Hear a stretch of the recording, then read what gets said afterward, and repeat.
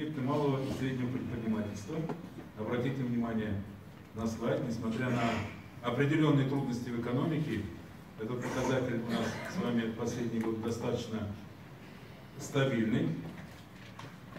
Ежегодно растет и доля налоговых поступлений в городской бюджет.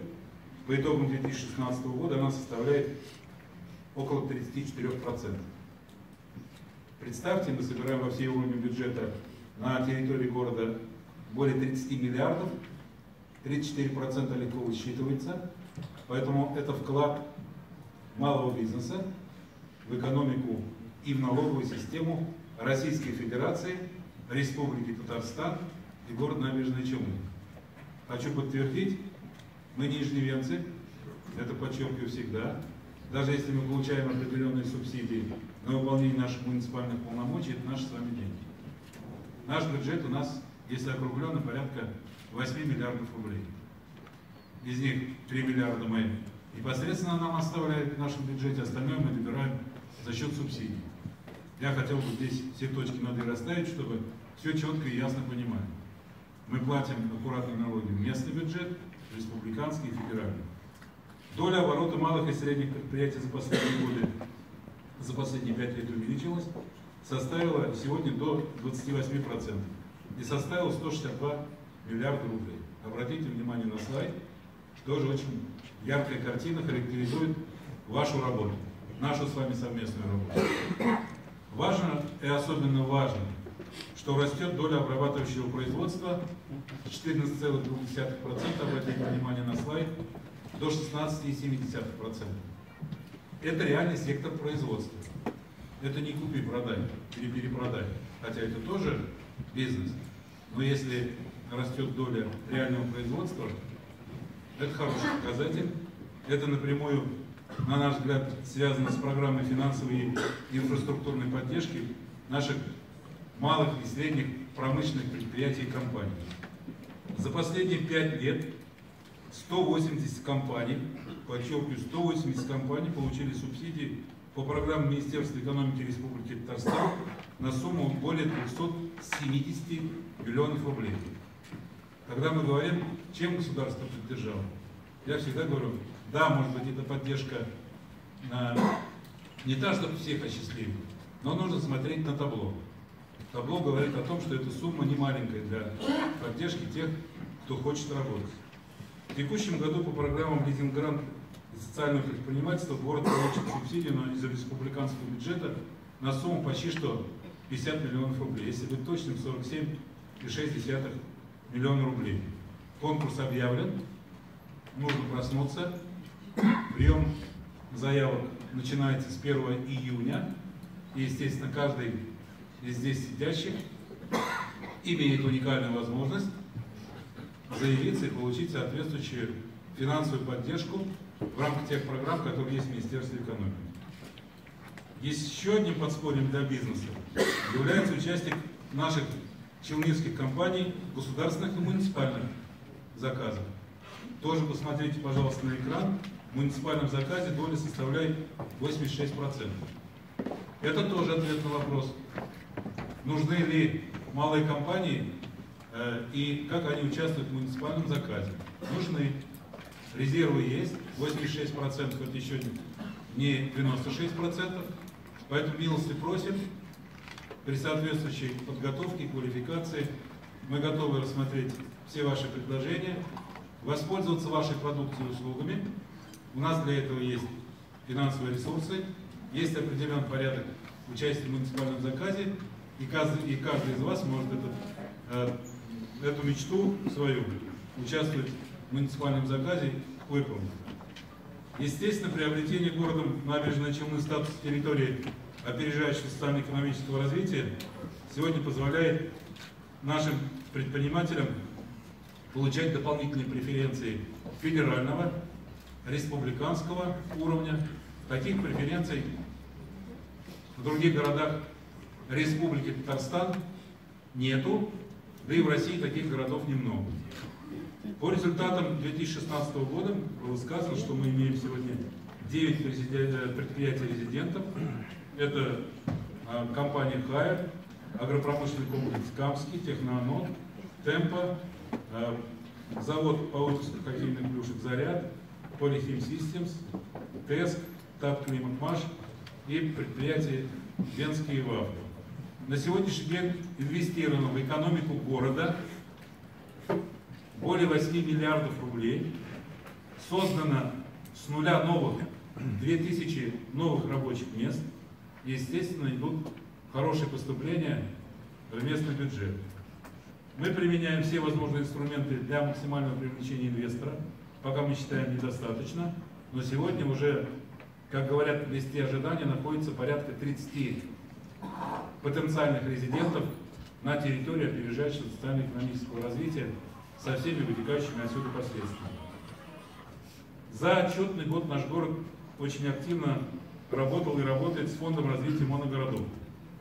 За последние три года из Фонда развития моногородов в наш с вами город было привлечено более 2 миллиардов рублей, из них на реконструкцию дорог, инфраструктуры в промышленной зоне 756,5 миллиона рублей. Это ответ на вопрос, что мы сделали за два года в плане, в плане улучшения инфраструктуры дорог в промышленной зоне. Ваш вопрос без ответа не остался.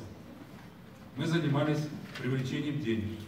Да, все дороги за два года отремонтировать невозможно, но вы сами видите, что движение пошло.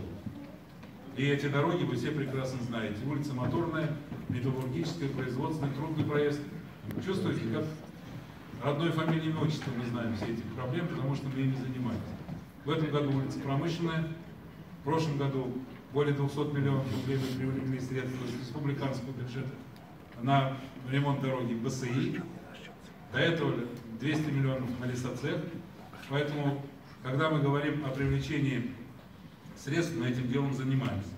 Кроме этого, на развитие двух промышленных парков, имея в виду КИП мастера развития, мы смогли получить с фонда моногородов, это федеральные средства, естественно, при помощи депутатов Государственной Думы, Федерального собрания, Альфия Гумарна тоже к этому приложила очень-очень серьезные усилия и руку. Более 1 миллиарда рублей. Это шестая очередь Кипмастер, ни много ни мало 898 миллионов рублей. И Промпарк развития 151,2 миллиона рублей. Буквально неделю назад наблюдательным советом Фонда развития моногородов было принято еще одно положительное решение о поддержке нового Челнинского проекта. Создание сервисного металлообрабатывающего центра по очистке металла. Проект тоже здесь на выставке представлен. Каматрейд Татарстан. Сумма из фонда моногородов 228 миллионов рублей. Нам очень важно, мы считаем, участвовать во всех наших федеральных республиканских программах. Это было прописано в решениях съезда в 2015 году. И мы можем сегодня отчитаться и сказать, что более 90% всех тех предложений, мероприятий, которые мы с вами запланировали, принимали в резолюции 2015 года, они выполнены. Есть и невыполненная часть, но о ней тоже сегодня будем говорить и на пленарной части, и на заседании секции, поэтому думаю, что сама жизнь корректирует все наши с вами совместные действия. Естественно, мы на все эти вызовы времени вместе с вами будем реагировать. Завершая свое выступление, я считаю, что, повторю еще раз, должен состояться заинтересованный разговор, критикуя те или иные наши действия и бездействия. Мы хотели бы, чтобы вы и предлагали, как выходить из той или иной ситуации, что необходимо сделать для того, чтобы дальше бизнес в городе Набережной Челны активно развивался. Естественно, все это создавало бы хорошую обстановку в нашем с вами городе. На этом я свое выступление завершаю. Спасибо за внимание. Спасибо большое. И открытость и готовность к диалогу. Наш съезд действительно должен стать площадкой для выработки, прежде всего, совместных решений, коллегиальных обсуждений, вопросов, волнующих предпринимателей. И большую помощь в этом могут оказать и модераторы, эксперты, депутаты всех уровней и предстоящие круглые столы, которые нас ожидают. Мы очень рады, что в работе нашего съезда принимает участие депутат Государственной Думы Российской Федерации седьмого созыва Кагогина Альфия Гумаровна. Спасибо вам большое. Альфия Гумаровна, вопрос э, будет к вам. Скажите, пожалуйста, какую роль, по вашему мнению, играет предпринимательское сообщество в России каковы факторы его развития? Спасибо. Спасибо большое.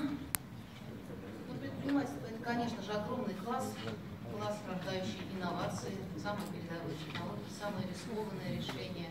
Вначале находят апробацию именно в малом и среднем бизнесе.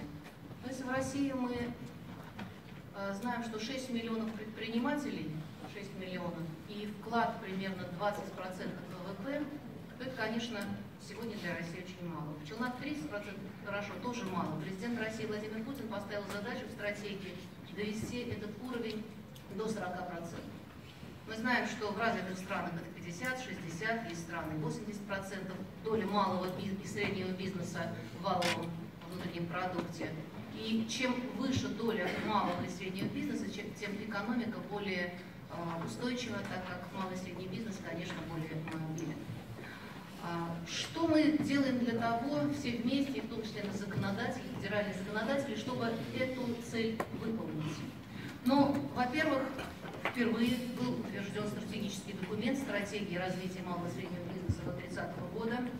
Вы знаете, что для стимулирования, для расширения рынка для малого и среднего бизнеса был принят федеральный закон. И мы а, определили минимальную квоту не только в закупках муниципальных не, не только муниципальных, государственных и региональных закупок, но и государственных компаний, компаний с госучастием, а это огромные деньги. Сейчас 15% минимум своих, бюджет, э, своих бюджетных закупок все компании с госучастием должны направлять именно на малый и средний бизнес. Это а, триллионы рублей. И я думаю, что вы пользуетесь предприниматель набережных Челнов этим инструментом и можете продвигать свой товар. Региону представляется из федерального бюджета субсидии, гарантии, микрозаймы а, на э, собственно, развитие и поддержку малого и среднего бизнеса. Но в 2016 году это более 11 миллиардов рублей. В 2017 году планируется из федерального бюджета направить на поддержку малого и среднего бизнеса э, порядка 30 миллиардов рублей. Корпорации малого и среднего бизнеса совместно с Банком России реализуют программу 6,5 вы знаете. В рамках данной программы представляются льготные кредиты на приобретение основных средств, пополнение оборотного капитала, модернизацию производства. В 2016 году эта цифра превысила 125 миллиардов рублей. Я знаю, что в Республике Татарстан только за первый квартал 2017 года выдано льготных кредитов на сумму более 18 миллиардов рублей. Ой, э, свыше 350 миллионов рублей, всего по России 18 миллиардов рублей. Наконец, мы оградили законодательно федеральным законом бизнес от бесконечных проверок, теперь реестр находится у прокуратуры, прокуратура четко следит за тем, чтобы э, бизнес не кошмарили, не кошмарили, как очень ярко выразился э, Дмитрий Анатольевич Медведев на одной из встреч с предпринимателями. Тем не менее, все вроде бы хорошо и делается правильно, эти э, наши шаги воспринимаются предпринимательским сообществом э, замечательно, но есть одна цифра, я хотела бы, чтобы мы сегодня здесь это критиковали. Тем не менее, темпы развития предпринимательства у нас очень невысоки. Всего 3-4% всех предпринимателей переходят рубеж в 3 года. Что случилось? Почему в России есть такие цифры? Значит, есть проблемы. То есть 3-4% предпринимателей живут больше, чем 3 года. Так вернемся к тем мерам. Представляются регионам субсидии в виде гарантий микрозаймов 11 миллиардов. Это очень мало. Вчера мы на совещании президента говорили, что минимум в два раза надо, надо бороться за то, чтобы эту сумму, этот объем увеличить минимум в два раза. Я думаю, что коллеги из Татарстана поддержат меня. Корпорация МСП кредит 6,5, но он превращается, я понимаю, в 11% для малого бизнеса и для среднего бизнеса 10,5-10%. А это уже деньги достаточно серьезные, которые э, тяжело окупать. Это уже не 6,5%. Опять же, на различных уровнях, надеюсь, что в набережных Челнах в Татарстане нет, но в регионах э, оградили от проверок, мы запретили увеличивать налоги, но тем не менее есть постоянные требования на таких контрольно-надзорных э, органов, которые предприниматели должны выполнять. Большой объем неналоговых платежей, устанавливаемых, устанавливаемых региональными местными властями, поборы, которые тоже, которые тоже мешают развитию. И что мы в результате имеем? Мы имеем, что у нас достаточно э, большой объем теневого бизнеса. Вот мне, мне кажется, с моей, вот, с моей точки зрения, что те предприниматели, которые не проходят рубеж в три года, просто в теневой бизнес. У нас сегодня в России 16 миллионов человек в теневом бизнесе. Это пятая часть трудоспособного населения. Что мы для этого сделали? В прошлом созыве мы подняли этот вопрос. Федеральным законом мы ввели налоговые каникулы для самозанятых, вы знаете, да? То есть первые несколько лет заявительным порядком предприниматель заявляется в налоговую инспекцию, работает официально, не платит налоги, а потом уже привыкает и переходит либо на патентную систему, либо на комфортную систему а, налогообложения. Но это всего лишь три профессии. Это у нас э, э, правительство наделило какие профессии? Няни, сиделки, репетиторы и граждане, занимающиеся уборкой. А такие, как э, те, кто занимаются ремонтом квартир, это 15% а, вот этого по оценке теневого бизнеса. Программирование, компьютерная помощь 11% по экспертным а, оценкам. Это дизайн 10%, они не попадают под действие федерального закона. И вот вы сегодня на дискуссионной площадке тоже, я вас прошу, обсудите, пожалуйста, что сделать, чтобы микробизнес, вот такой вот совершенно маленький индивидуальный предприниматель, чтобы вышли из теневого бизнеса и стали нормальными э, предпринимателями, сидящими здесь в зале, что нужно сделать? Нужно ли расширить перечень на федеральном уровне? Мне кажется, что да. Если да, если вы меня поддержите, значит мы э, будем работать в этом направлении своими коллегами-депутатами. И мне кажется, что увеличить перечень видов деятельности, попадающих под деятельность самозанятых граждан, это была бы очень хорошая идея. Но, но мне как, вот на самом деле, я стою, знаете, на, вот на каком мнении, что для предпринимателей сейчас поддержки достаточно оказывается. А нужно поднять статус предпринимателя. Вот не хватает, не хватает такого вот общественного одобрения предпринимательской деятельности. Ведь мы видим опросы среди вот, старшеклассников на вопрос, кем вы хотите работать после того, как закончите престижный вуз, кем вы хотите, где вы хотите работать, большинство называют это госкорпорации, это министерство, ведомство, чиновниками. То есть молодые люди хотят идти в чиновники, а нам хотелось бы чтобы большая часть молодых людей с прекрасным образованием реализовали свою предпринимательскую инициативу, которая присуща русскому человеку, российскому человеку. И обязательно молодые люди, чтобы создали что-то новое, продвигая себя, улучшая свою жизнь и свою страну. Вот мне кажется, такие форумы и э, успехи э, нашего города именно способствуют тому, чтобы престиж предпринимателя именно поднимался на, до должного уровня. Уважаемые друзья, коллеги, соратники, именно так я вас считаю. А, большое спасибо за руководство города, руководство республики за организацию такого прекрасного мероприятия, за то, что э, пригласили меня. Я тоже хотела отправить видеообращение, но решила все-таки приехать и выступить сама, чтобы предложить вам несколько э, новелл и послушать, получить обратную реакцию. Спасибо большое, хорошего вам э, обсуждения, э, ярких дискуссий и выработки решений, которые мы могли бы реализовать на благо российского и татарстанского предпринимателя. Спасибо большое. Заинтересованность власти и бизнеса друг в друге является прежде всего основой взаимодействия в рамках негласного договора, и таким образом совместными усилиями действительно можно обеспечить единое экономическое пространство и благоприятный деловой климат. Тимур Дмитриевич, э, вопрос будет к вам. С 2013 года у нас реализуется проект под названием «Бизнес и власть. Откровенный разговор». И каких результатов удалось достичь за прошедшие три года, и планируете ли вы развивать новые направления в организации взаимодействия бизнеса и власти? Пожалуйста. Спасибо. Ну, во-первых, я хочу всех приветствовать. Я уже приветствовал с трибуны от лица Рустама Нургалевича. Сейчас вы мне персонально дали слово, соответственно, я рад приветствовать всех на сегодняшнем мероприятии.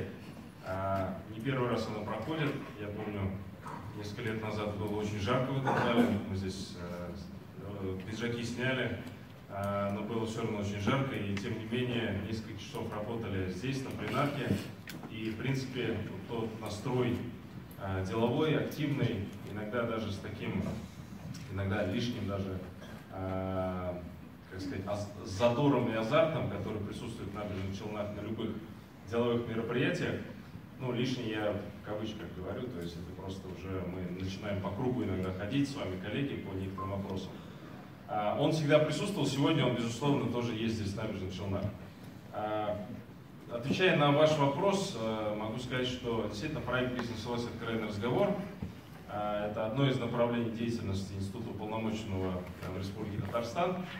А, мы его начали реализовывать по получению Рустема Нургалевича в свое время. Сейчас вот достаточно много говорится о разных вопросах, которые волнуют бизнес.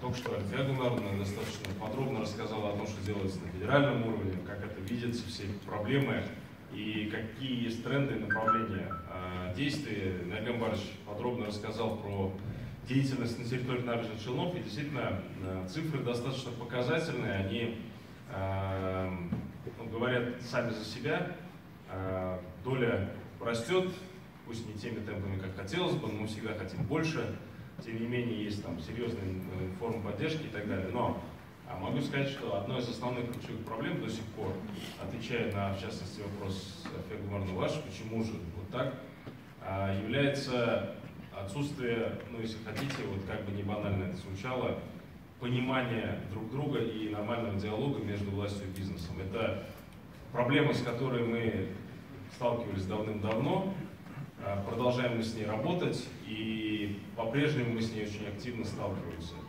А, на самом деле, часто бизнес и власть говорят совершенно на разных языках, совершенно разные KPI, то есть внешне у нас сейчас такая появилась оболочка, такая, знаете, красивая оболочка у конфеты или у торта, когда мы вроде бы стало хорошим тоном сегодня встречаться на подобных мероприятиях в рамках нашего проекта «Бизнес власть. Откровенный разговор» э, приглашать первых лиц, министерств, ведомств, президента Республики Татарстан, мэров городов на открытые диалоги с э, бизнесом.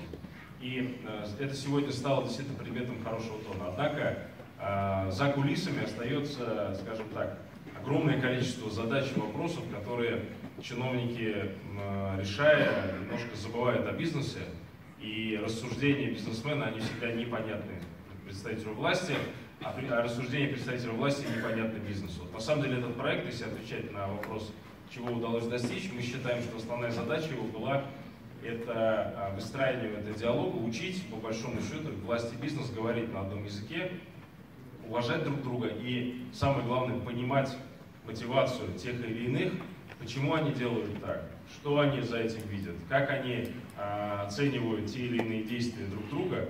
Вот это вот ключевая задача, с которой мы работаем. И я считаю, что то, что сегодня, а, еще раз повторяю, в Татарстане открытый диалог власти и бизнеса, постоянное общение, обмен, замер э, настроений, там, э, все стараются почувствовать климат.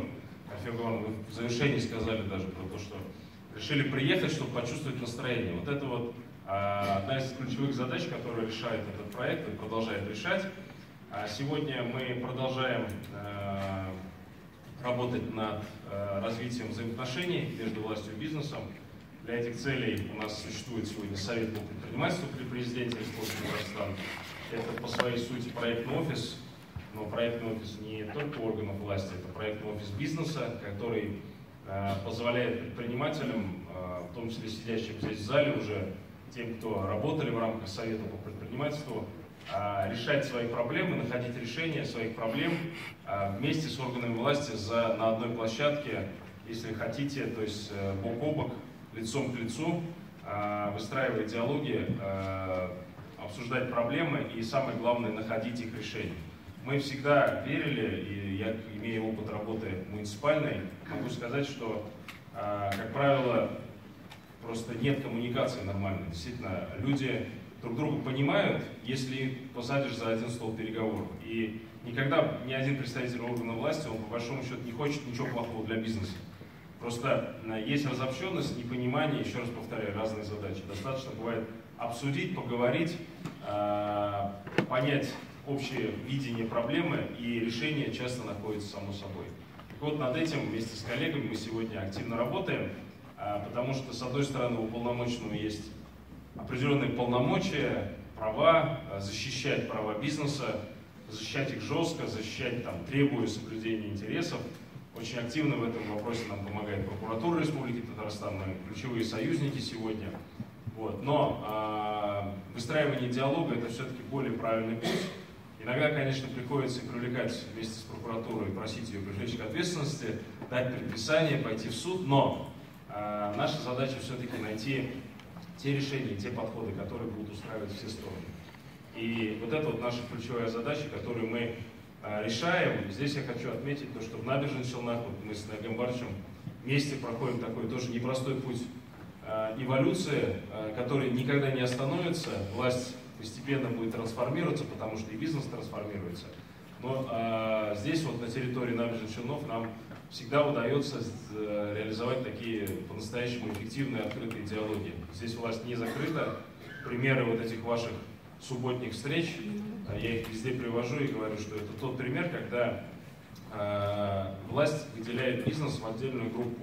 Не так, что там есть прием граждан во вторник, да, приходи, записывайся, э, пройдешь там 10, э, не знаете, контрольных точек, фейс-контроля, и потом ты попадешь ко мне, и мы с тобой поговорим.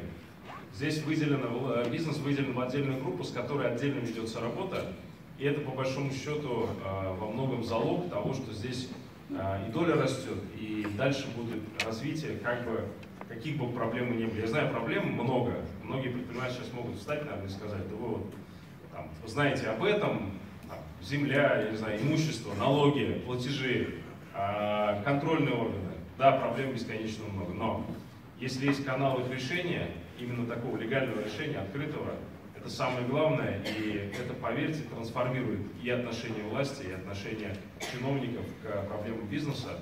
На самом деле, сегодняшнее мероприятие, я думаю, что основным ее, его результатом будет то, что власть и бизнес станет ближе и будет лучше друг друга понимать. В принципе, все. Спасибо. Спасибо огромное. Э, раз уж вы заговорили о результатах любой деятельности, они должны быть, и вот подтверждением результатов э, является деятельность проекта «Бизнес и власть. Откровенный разговор», подтверждением благодарности за стабильную и эффективную работу Института и полномоченного Республики Татарстан по защите прав предпринимателей, которые вы получили из рук уполномоченного при президенте Российской Федерации по защите прав предпринимателей Бориса Юрьевича Титова. Давайте поздравим с этим Тимур Дмитриевича. Спасибо. И сегодня в процессе э, спичи уже мы услышали акценты по поводу развития моногородов. Как раз об этом хотели бы отдельно э, затронуть эту тему. В республике их у нас э, 6, согласно утвержденной стратегии развития МСП до э, 2030 года. Среди основных э, направлений поддержки развития предпринимательства на территории моногородов является, цитата, стимулирование создания производств с высокой добавленной стоимостью, поддержка видов деятельности, не связанных с высокими стартовыми затратами, а также вовлечение малого и среднего предпринимательства в решение актуальных социальных задач. Отсюда возникает у нас вопрос. Наталья Александровна, э, недавно правительство страны анонсировало принятие программы комплексного развития моногородов. И вот какие основные задачи нужно решить, чтобы приставка моно у нас в итоге превратилась в приставку стерео, и какие институты занимаются реализацией данной программы на федеральном и республиканском уровнях, и когда, с вашей точки зрения, можно ожидать первых результатов. Пожалуйста. Добрый день. Уважаемые предприниматели. Мне очень приятно сегодня быть здесь и видеть все ваши лица. Я была здесь ровно два года назад, когда мы проводили этот съезд впервые. И очень много из тех задач, которые тогда э, ставились перед государством, как раз кас- касались статуса моногорода. Тогда мы еще не очень хорошо понимали, э, что это такое в масштабах страны. А, Сейчас я немножко вкратце э, попробую описать, что такое моногорода в масштабе страны. Их 319. Это много. Из них в красной зоне порядка 100. Из этих 100 каждый седьмой житель живет в набережных Челнах. Таких, как набережные Челны, всего два. Набережные Челны и Тольятти. Это самые крупные моногорода в стране, и к ним приковано особое внимание э, федеральных, про- федерального правительства, ну и, конечно, правительства республики. Всего моногородов в республике не 6, а 7. Я думаю, что вы забыли Камские поляны. А они тоже, между прочим, моногород. Э, Это сухая цифра, 7.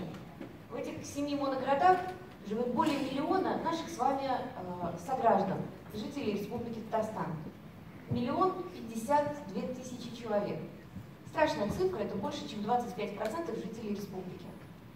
Для того, чтобы каким-то образом помочь э, этим людям, этим городам э, улучшить социально-экономическое положение, была разработана достаточно большая программа, и начала она работать именно с набережных Челнов.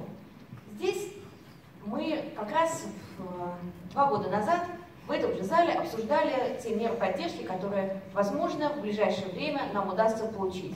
Строительство инженерной инфраструктуры, это получение статуса территории опережающего развития, это объединение наших городов в территориально обособленные инновационные центры НАКАМ. Тогда это все были бумаги, э, документы, которые были в проектах, они обсуждались, и мы искренне, с блеском в глазах верили в то, что это получится. У нас прошло два года, мы сегодня подводим итоги.